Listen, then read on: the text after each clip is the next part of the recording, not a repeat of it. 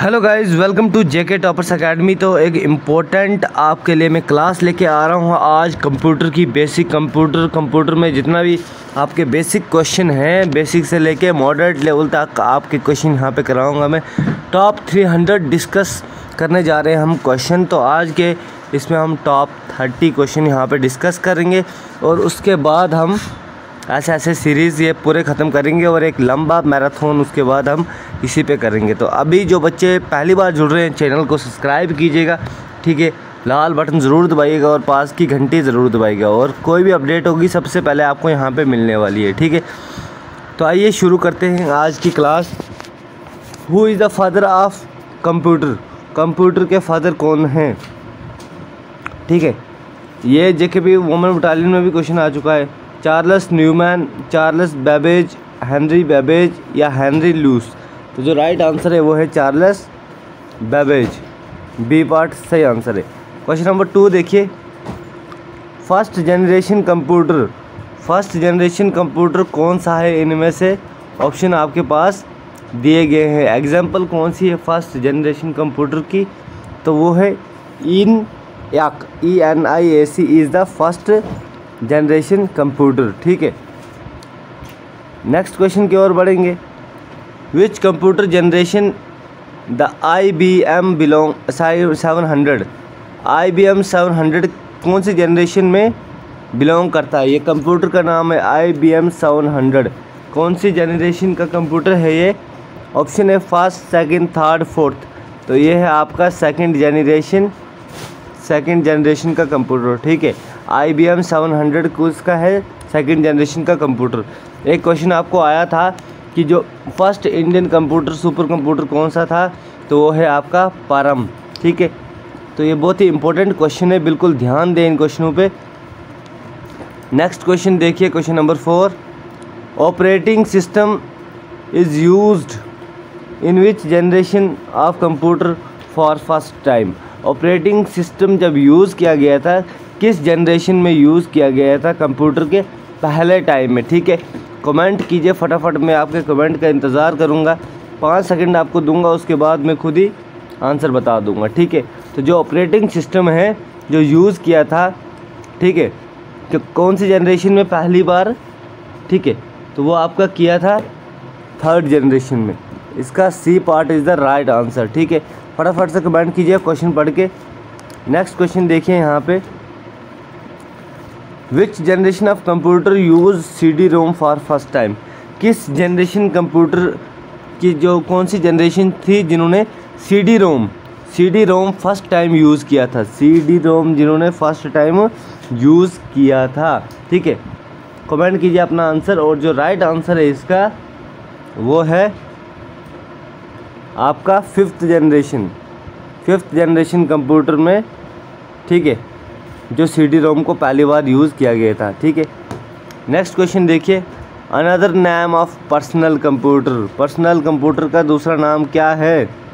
ठीक है personal computer का दूसरा नाम क्या है? ऑप्शन है micro computer private computer distinctive computer या फिर इंडिविजुअल कंप्यूटर ठीक है। तो जो राइट आंसर है, वो है micro computer is the another name of personal computer ठीक है? क्वेश्चन नंबर सेवन की ओर बढ़ेंगे। वीडियो अच्छी लग रही है वीडियो को लाइक और ज़रूर शेयर ज़रूर करना, ठीक है? लाइक करो, एक लाइक क्योंकि इससे बहुत मोटिवेशन मिलता है, आप लोगों को समझ आ रहा है, ऐसा लगता है, ठीक है?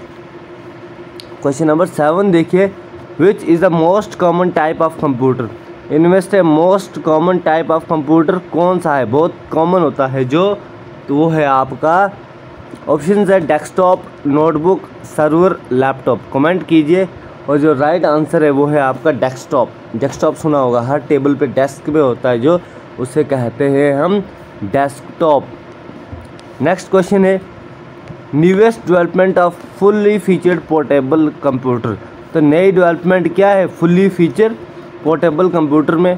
क्वेश्चन नंबर एट देखिए।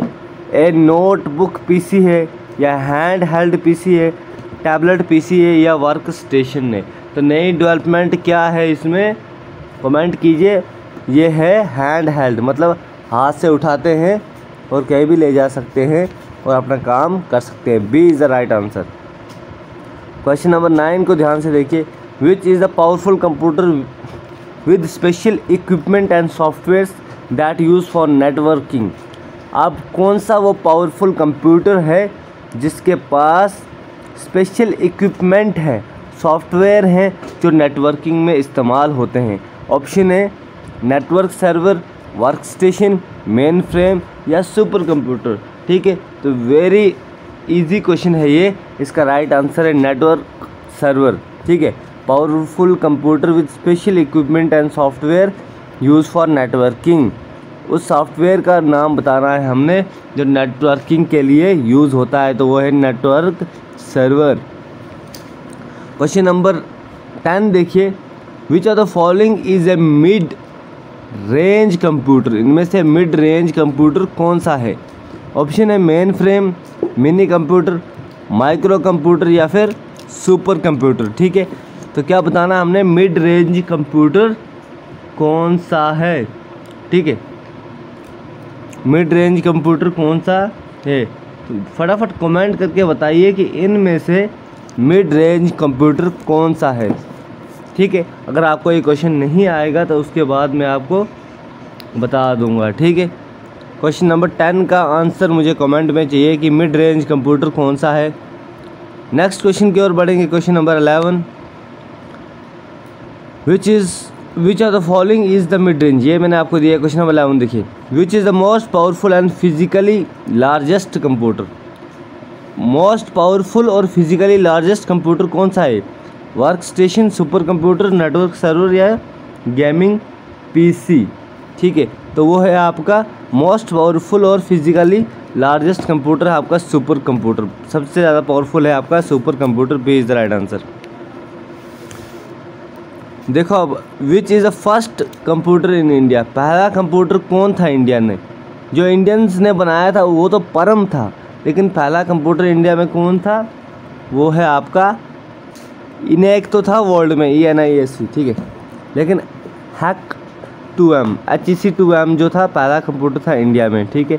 H E C two M ठीक है?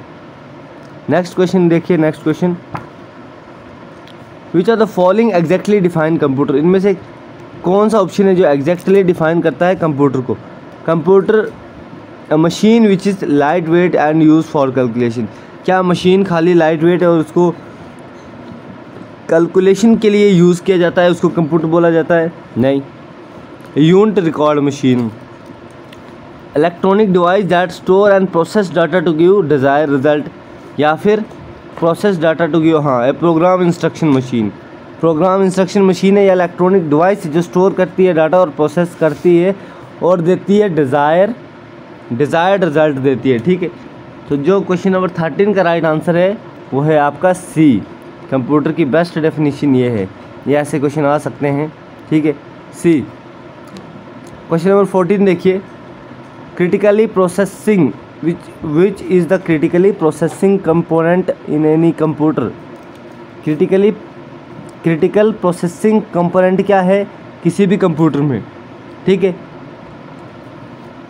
बहुत क्रिटिकली प्रोसेसिंग कंपोनेंट कौन सा है? कमेंट कीजिए फटाफट से।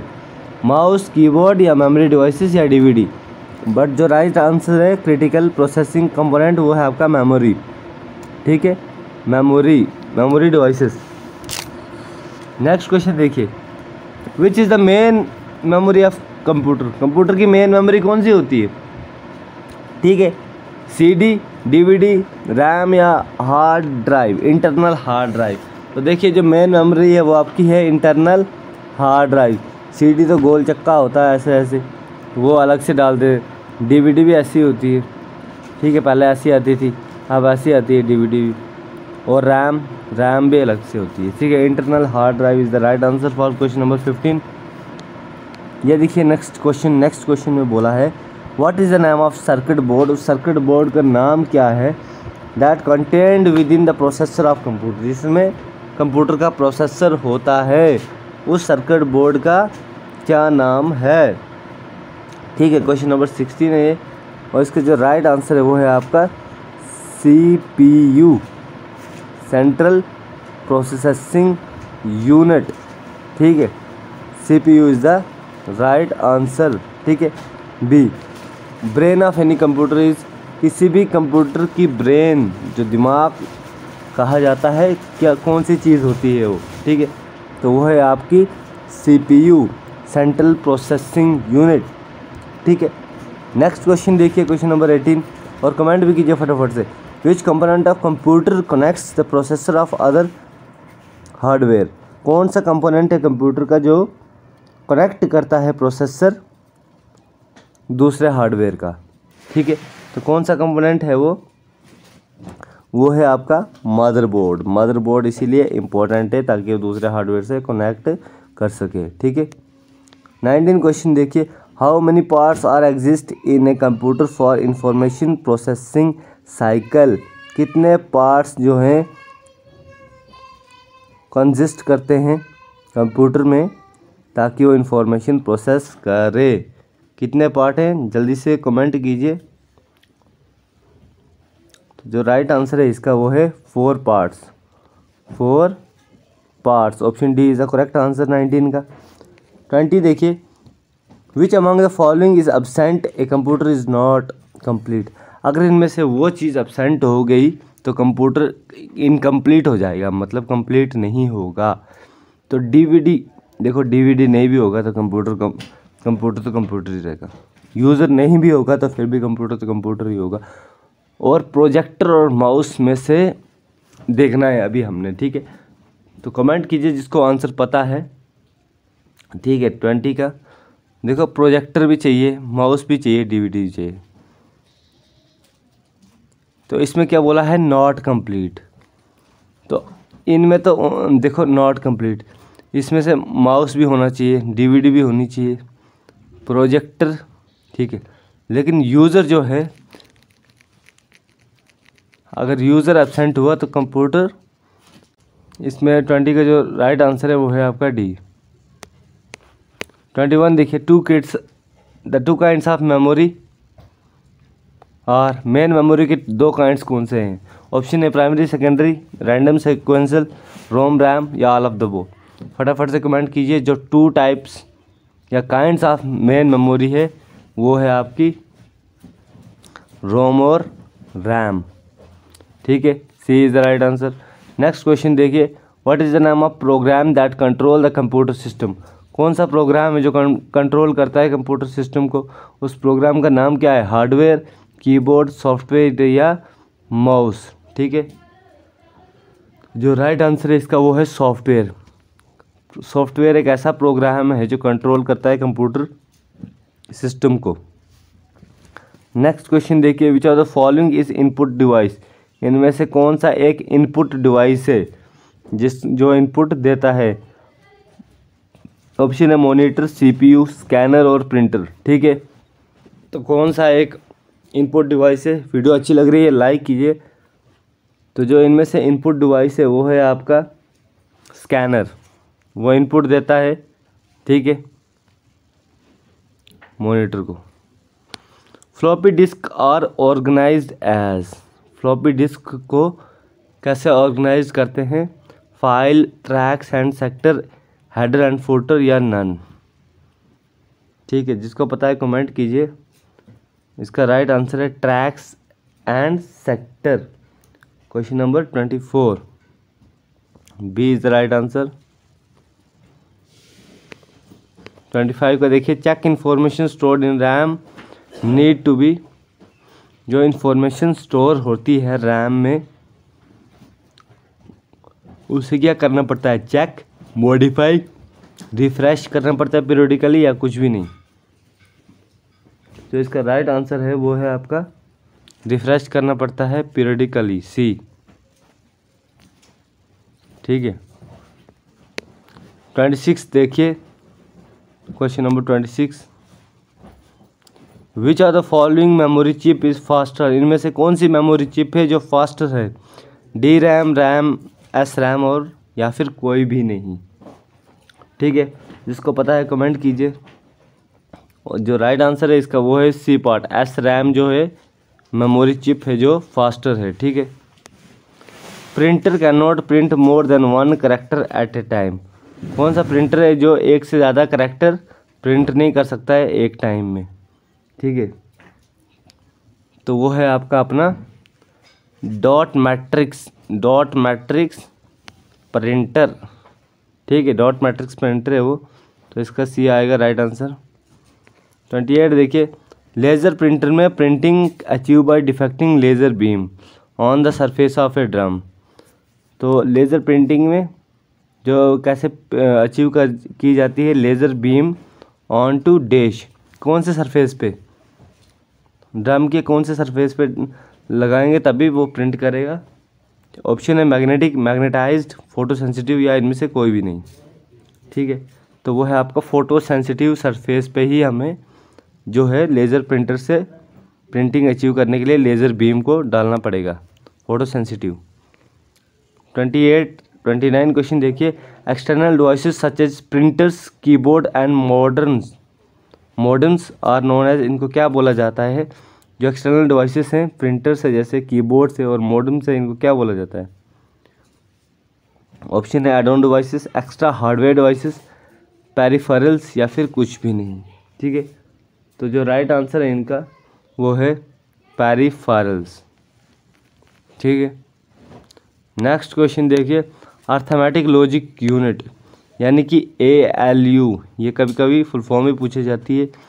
C P U U P S A L U A L U होता है arithmetic logic unit C P U होता है central processing unit U P U P S होता है unit processing service U P S